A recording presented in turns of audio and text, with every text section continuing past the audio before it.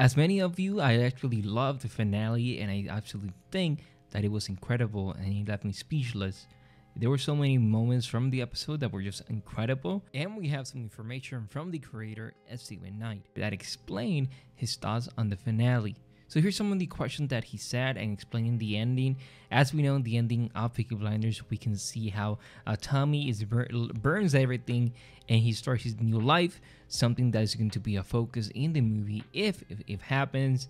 Let's see if it does.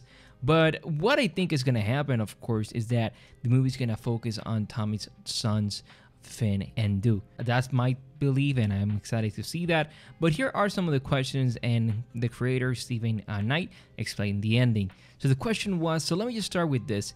Thank you for not killing Tommy. You cannot kill Tommy. It's good the fact that it's the last episode because people think he might actually die. Whereas if there's another series, you know what I mean. So you do have that on your side. He then he then says, How does it feel to be here now nine years later? Oh fantastic. I just been looking, which I don't usually do. I just been looking at the reviews and they're fantastic. I think they're the best date we ever had for Peaky, which is amazing. Not just the reviews, again, which I don't normally do. I've been looking at what people are saying on the internet, and it's absolutely amazing. The fact that the critics and the fans, I think a lot of people, when it's the last series, they sort of fold their arms and say, prove that you're not gonna do what other series have done. So there's sort of an expectation. But I think it's past that with flying colors. You guys went through hell and back during the pandemic. It also lost a beloved cast member. How has the cast responded? It was such a roller coaster the making of it because of Helen, and because of the pandemic, it was really tough. It's very corny, but it's a bit of a family, including the crew, so everybody's really proud of it. It is really emotional, but because of the film, I really want to keep everything as much as possible the same.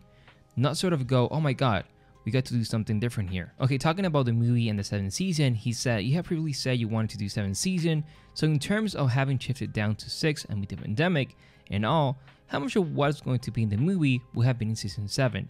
The thing is that I, when I'm writing anything, but particularly Peaky, I tend not to have a plan except something very, very broad.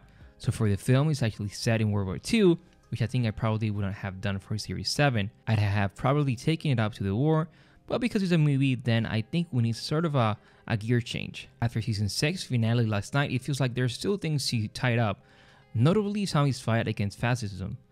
That's why during the war, it becomes very permanent because the war's predictions have all come true. So the guys Oswald Mosley and others are going to figure it out in the film. Yes. Oh, now, talking about the film, in terms of how this final TV season sets up the movie up, are we looking at Duke and some of these characters that have come in late in the game? Yeah, because in reality, the first war generation, by the time the second war is in terms of age, it was perceived in those days. And what I want to do is have this generation come through. I'm really interested in Duke. I'm really interested in the uh, in Isaiah, Isaiah, and just watching a generation come through, but with the older generation still there. After a movie, are you thinking ahead of it at all? Yeah, I want to see what the movie tells us. I always the way in the writing of it.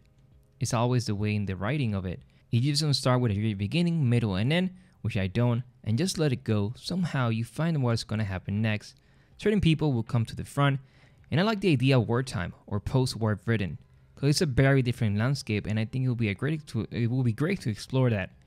It brings a whole new look, and people dress differently and act differently, so it will be interesting. Uh, talking about the ending, he says, "How do you find the ending? Were there alternate versions you toss about?" The ending is the one thing where you have to actually really, really, really concentrate rationally because there's no way out after that. There's no way of, of retrospectively taking it somewhere. It's gonna end, and that's why I think the ending is almost the most difficult. But finding a way to tie that up does take some rational through, whereas other parts of the script where you can just let it go, that's where you have to really be sensible. In my mind, there's other ways for it to go. I mean, I never thought that Tommy would die, but there were other ways for him to survive as well. So those are some of the question and how the, the TV series set up the movie and him explaining his the ending.